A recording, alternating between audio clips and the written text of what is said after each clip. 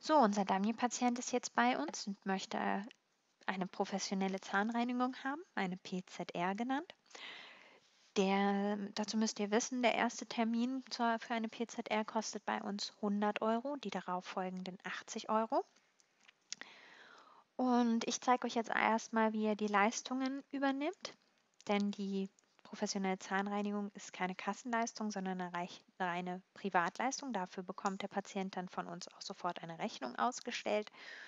Und auch das zeige ich euch. Jetzt wollen wir erstmal den Patienten natürlich auswählen. Das ist unser Dummy-Patient. Dafür wieder hier oben bei Patientenauswahl reinklicken, den Patienten raussuchen, reinklicken. Und jetzt müssen wir erstmal die Leistung übernehmen. Dafür hier oben auf Leistungserfassung klicken. Darmsoft sagt uns wieder hier, hallo, es wurde noch keine 04 und keine 107 erfasst, aber wir wollen jetzt ja keine 04 und keine 107 erfassen, sondern eine PZR, eine professionelle Zahnreinigung.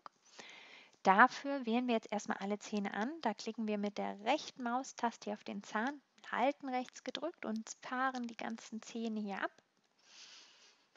Einmal rüber. Und jetzt können wir die Zahnreinigung suchen.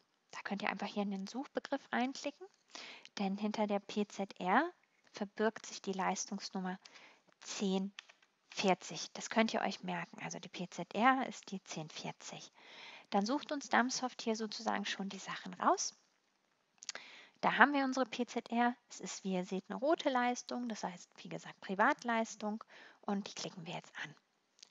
So, ihr seht jetzt hier unten, da sind die ganzen Zähne aufgezeichnet, an denen die Leistung gemacht wurde. Hier ist das Kürzel PZR, hier die Leistungsnummer, die ich euch gesagt habe. Die könnt ihr euch auch merken, die 1040 für die professionelle Zahnreinigung. Hier ist der Faktor, mit dem gerechnet wird und hier ist der Endbetrag. Der würde jetzt bei 115,84 Euro liegen. Wir sagen aber immer für die erste Behandlung 100 Euro.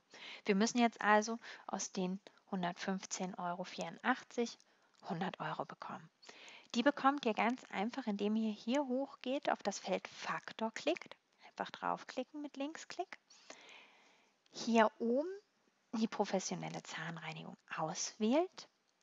Und hier unten seht ihr hier den aktuellen Betrag und hier den gewünschten Betrag. Da geben wir einfach bei dem gewünschten Betrag, da wählen wir rein, geben über die Tastatur 100 Euro ein und klicken auf Berechnung starten. So, Jetzt seht ihr, hat er uns aus den 115 Euro, hat er uns 100 Euro 16 gemacht. Hier oben seht ihr auch, dass der Satz, mit dem gerechnet wird, der Faktor nicht mehr 2,3 ist, sondern 1,9845.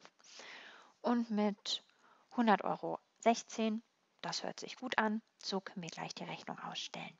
Dann drücken wir hier einfach auf OK. Wie ihr seht, hat das Dumpsoft jetzt auch hier geändert.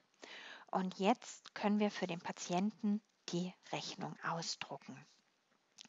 Dafür hier oben auf Rechnung klicken. Schwupps geht das auf, unseren Dummy-Patienten hier. Beim Endbetrag seht ihr die 116 Euro. Das ist alles richtig. Dann könnt ihr hier auf Rechnung klicken. Ihr könnt es euch vorher auch noch gern hier im Vorschau anschauen. Können wir mal machen.